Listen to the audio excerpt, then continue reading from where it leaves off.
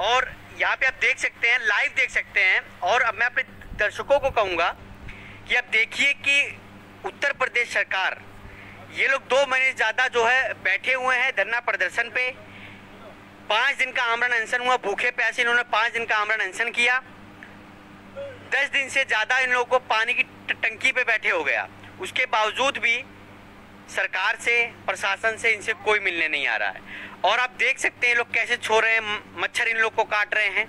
खुले आसमान में ये लोग सो रहे हैं बारिश आ जाती है तो ये लोग भीग जाते हैं। और आइए हम लोग हम शिक्षक अभ्यर्थियों से यहाँ कुछ लोगों से बात करते हैं। क्या नाम आपका? राकेश कुमार। राकेश जी। तिरसठवा दिन है तो क्या लगता है सरकार अब तक नहीं सुनेगी क्या सुनेगी? सरकार को तो सुनना चाहिए। इतना संघर्ष कर रहे हैं स्टूडेंट। और हम सब योग्य स्टूडेंट हैं। तब भी सरकार नहीं मान रही। है और तो आज ग्यारहवा दिन है दसवा दिन। अ, रात है नहीं तो हम आपको दिखा सकते थे कि पानी की टंकी पे अभी भी लोग चढ़े हुए हैं। हाँ। इतनी जर्जर अवस्था है कि पैर वहाँ कांपते हैं खड़े होने में। अब पानी वहाँ टिका हुआ है। बरसात होता है पानी टिका हुआ रहता है। कब पैर स्लिप कर जाए वहाँ कोई नहीं जान सकता। कितने लोग हैं पानी की टंकी पे? तीन लोग हैं। अच्छा तीन लोग हैं। फ्लोर पे लेते हुए पूरे तो पाँच सात हैं। अच्छा नीचे से लेके ऊपर तक पानी टंकी पे पाँच सात लोग चढ़े हुए हैं। पहले तो पाँच हैं ऊपर टॉप पे। अच्छा ऊपर पाँच लोग हैं। और हर स्टेप पे हैं बैठे हुए तो आप देख सकते हैं और मैं इनकी हालात एक बार दिखाने की कोशिश करूँगा आपको कि इसमें कुछ अपनी बहनें भी हैं। आप देख सकते हैं खुले आसमान में खुले आसमान में कैसे शिक्षक अभ्यर्थी सो रहे हैं। और क्या हम अपने घर के नौजवानों को, अपने घर के बच्चों को ऐसे रात में अकेले छोड़ सकते हैं? ऐसे खुले आसमान में सोने की इजाज़त दे सकते हैं? सरकार दो महीने से ज़्यादा हो गया तिरसठ दिन हो चुका है। सरकार इनकी बात को क्यों नहीं सुन रही है? और आप लगातार देख सकते हैं कि मैं आपको इसलिए दिखाना चाह रहा हूँ कि आप देखिए उत्तर प्रदेश में युवाओं की क्या हालत है। और आप देख सकते हैं, यहाँ पे हमारे साथ एक और भाई इनसे बात करने की कोशिश करेंगे। क्या नाम आपका? सर मेरा नाम आलोक सिंह परियार है। मैं आलोक सिंह नाम है आपका। आलोक सिंह जी तिरसठ दिन हो चुका है धरने प्रदर्शन को। इक्कीस जून से चालू है। पाँच दिन निधि ने और दो लोगों ने तीन लोगों ने और आमरण अनशन किया। उनकी तबीयत खराब हो गई। उनको हॉस्पिटल भेजना पड़ा। आज उन्होंने अनशन तोड़ दिया। दस दिन से ज़्यादा हो गया पानी की टंकी पे लगातार लोग पाँच सात लोग चढ़े हुए हैं। तो क्या लगता है, सरकार जब अब तक नहीं सुनी तो क्या अब सुनेगी? सर, सरकार को सुनना पड़ेगा, सरकार को सुनना इसलिए पड़ेगा क्योंकि हम लोग योग्य अभ्यर्थी हैं, उसके मानक पे पास हैं और नब्बे सत्तानवे नंबर लेके लोग नौकरी कर रहे हैं, जबकि हम लोग सौ, एक सौ दस, पंद्रह नंबर लेके यहाँ पर बैठे हुए हैं। तो इसलिए हम लोग योग्य हैं तो इसलिए सरकार को सुनना तो पड़ेगा ही, क्योंकि सरकार हमको क्या जवाब देगी? आप योग्य नहीं हैं, आप एक सौ पंद्रह नंबर लिए बैठे हैं, आप योग्य नहीं है?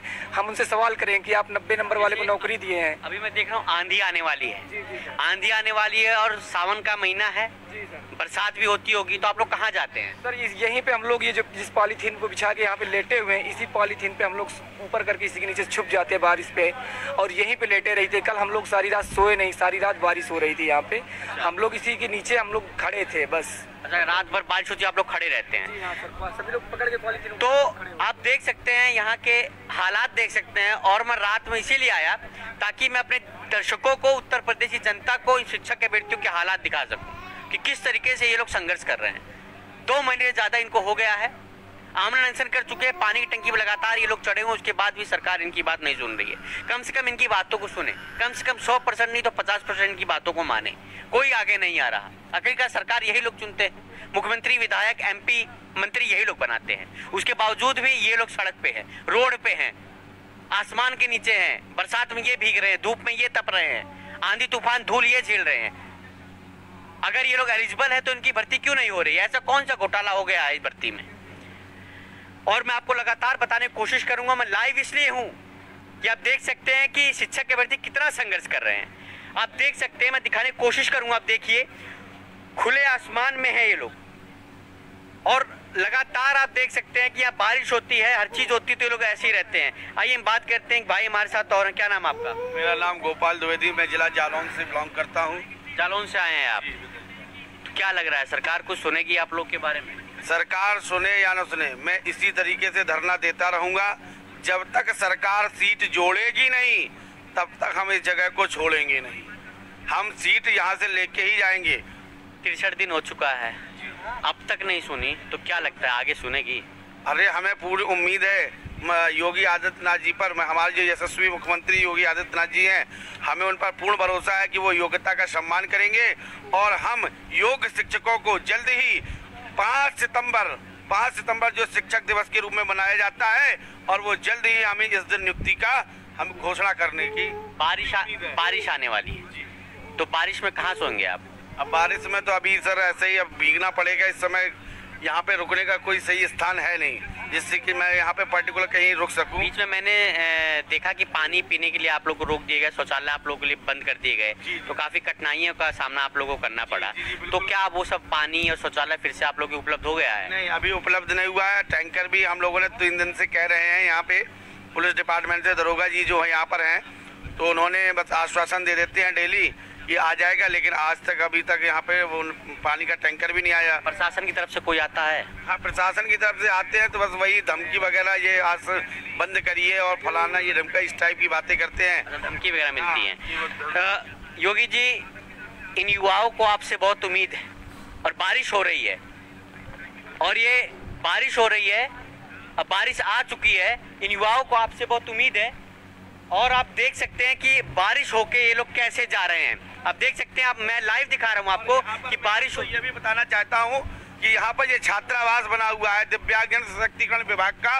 ये विभाग बंद किया हुआ है अगर ये हम लोगों को खोल दे तो इसमें हम अभ्यर्थीगण जो योग शिक्षक है वो इसमें विश्राम कर सकते हैं जिससे कि इस बारिश मैं कैमरा पर्सन को एक बार दिखाएँ इसको कि ये जो गेट है इसमें रूम है इसमें सारी कुछ फैसिलिटी है। अगर इसको खोल दें तो यहाँ पे शिक्षक अभ्यर्थी जो रात को बारिश भीगते हैं, धूप में तपते हैं दिन में, उधर भी है तो इनको कुछ सुविधा मिल जाएगी। आखिरकार ये लोग उत्तर प्रदेश के ही रहने वाले हैं। इन लोगों ने भी उत्तर प्रदेश में वोट दिया होगा। यही लोग चुनते हैं, मुख्यमंत्री यही लोग चुनते हैं, विधायक को यही लोग चुनते हैं, मंत्री को। उसके बावजूद भी इन लोगों के साथ ऐसा व्यवहार क्यों हो रहा है? आप देख सकते हैं, जैसे ही बारिश होने जा रही है, ये लोग खड़े हैं।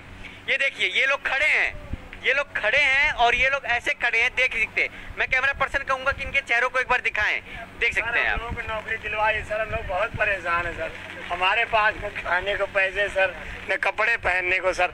मतलब जो पहन के आए यही धुल धुल के पहनते हैं।